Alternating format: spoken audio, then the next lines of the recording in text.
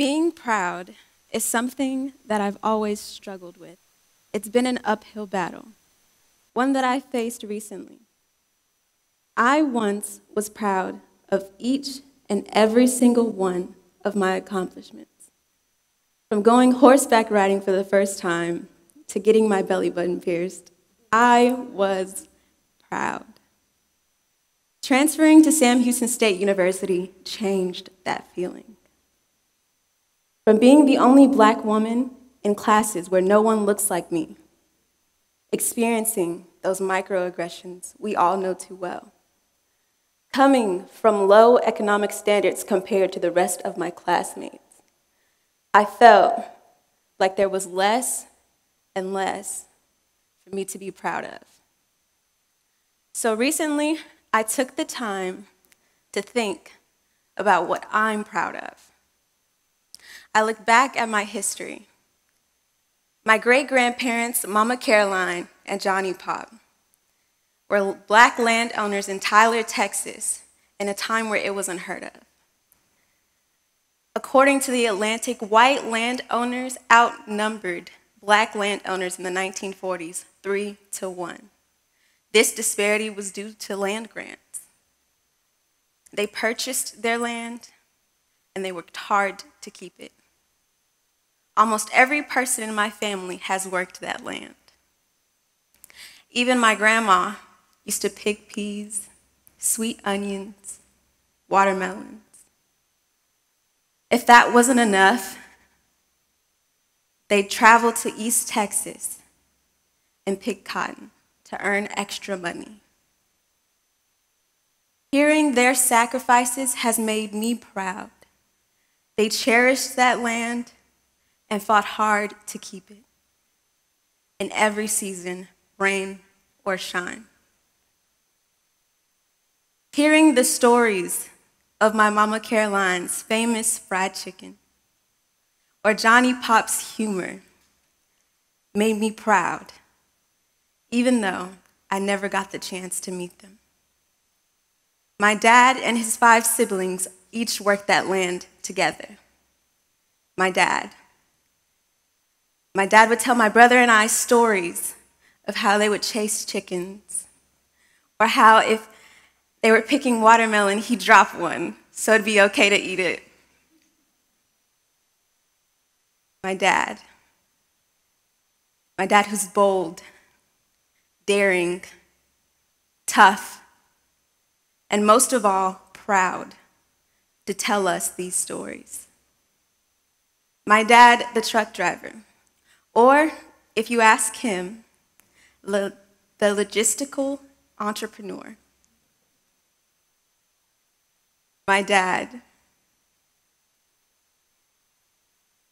He often told my brother and I to pull our shoulders back and hold our heads up high, to be proud of ourselves, no matter what.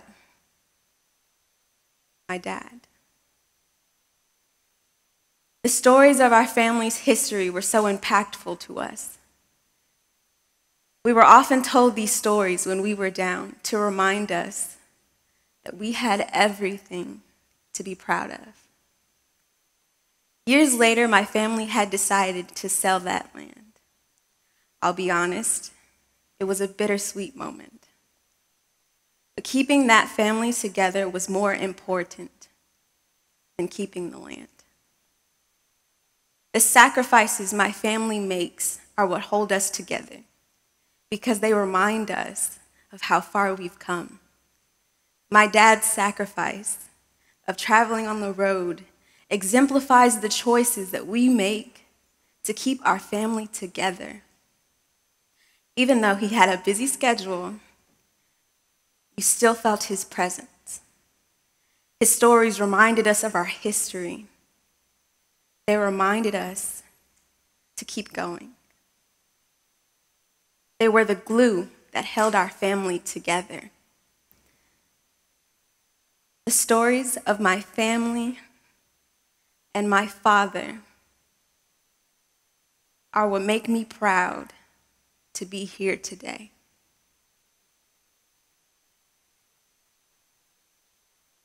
We are more than what the world has made us experience. We are more than just that. We are moments of happiness, of care, and of empathy. We are more than the hard times and those bittersweet experiences.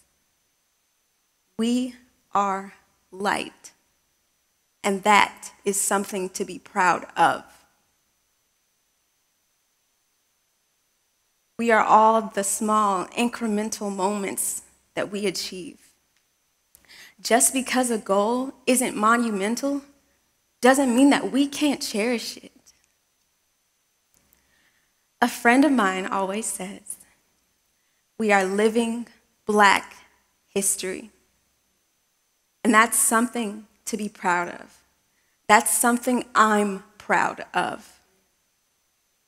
Coming to Sam Houston State University, I felt out of place. Coming to classes where no one looks like me, I felt different.